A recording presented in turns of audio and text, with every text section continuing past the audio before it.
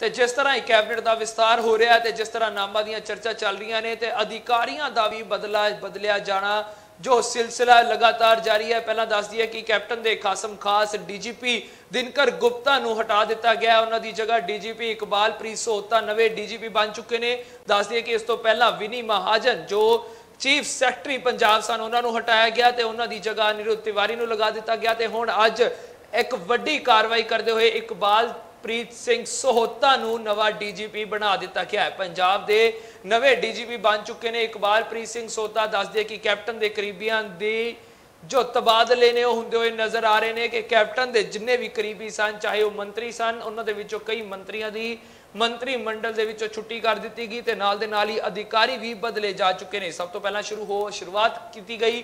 Is ਅਧਿਕਾਰੀਆਂ ਤੋਂ is ਅਧਿਕਾਰੀਆਂ ਤੋਂ ਬਾਅਦ ਆਈਪੀਐਸ ਅਧਿਕਾਰੀ, ਕਮਿਸ਼ਨਰ ਬਦਲੇ ਗਏ ਤਿੰਨ ਵੱਡੇ ਸ਼ਹਿਰਾਂ ਦੇ ਲੁਧਿਆਣਾ, ਜਲੰਧਰ, ਅੰਮ੍ਰਿਤਸਰ ਦੇ। ਉਸ ਤੋਂ ਬਾਅਦ ਹੁਣ ਪੂਰੇ ਪੰਜਾਬ ਦੇ ਡੀਜੀਪੀ ਨੂੰ ਹਟਾ ਦਿੱਤਾ ਗਿਆ ਹੈ। ਦੱਸਦੀ ਹੈ ਕਿ ਡੀਜੀਪੀ ਸਨ ਪਹਿਲੇ ਦਿਨਕਰ ਗੁਪਤਾ, ਜੋ ਕੈਪਟਨ ਦੇ ਕਰੀਬੀ ਸਨ ਤੇ ਉਹਨਾਂ ਨੂੰ ਹਟਾ ਕੇ ਹੁਣ ਇਕਬਾਲਪ੍ਰੀਤ ਸਿੰਘ ਸਹੋਤਾ ਨਵੇਂ ਡੀਜੀਪੀ ਬਣ ਚੁੱਕੇ ਨੇ। ਦੱਸਦੀ ਹੈ ਕਿ ਨਵੇਂ ਡੀਜੀਪੀ ਪੰਜਾਬ ਨੂੰ ਨਵਾਂ ਡੀ ਡੀਜੀਪੀ ਮਿਲ ਚੁੱਕਾ ਹੈ ਤੇ ਹੁਣ ਪੰਜਾਬ ਦੀ ਕਮਾਨ ਸਿਕਿਉਰਿਟੀ ਦੀ ਕਮਾਨ ਆਈਪੀਐਸ 1988 ਬੈਚ ਦੇ ਆਈਪੀਐਸ ਦੱਸੇ ਜਾ ਰਹੇ ਨੇ। ਇਕਬਾਲਪ੍ਰੀਤ ਸਿੰਘ ਸੋਹਤਾ ਨੂੰ ਹੁਣ ਡੀਜੀਪੀ ਬਣਾ ਦਿੱਤਾ ਗਿਆ ਹੈ।